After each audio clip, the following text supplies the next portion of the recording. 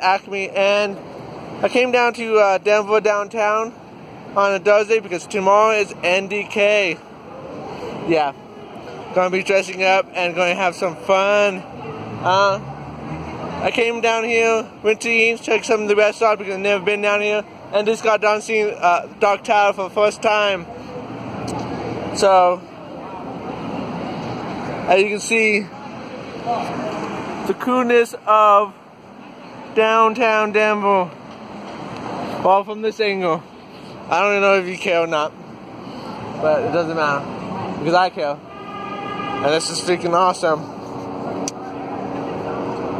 So tomorrow's gonna be a blast. Hope hope I can get a Warhands with you on player pin. Hope I can get some other stuff from the NDK conventions. And go see what's fun. For first time being in NDK with Bring Me. And signing out for the first vlog of ND Clay.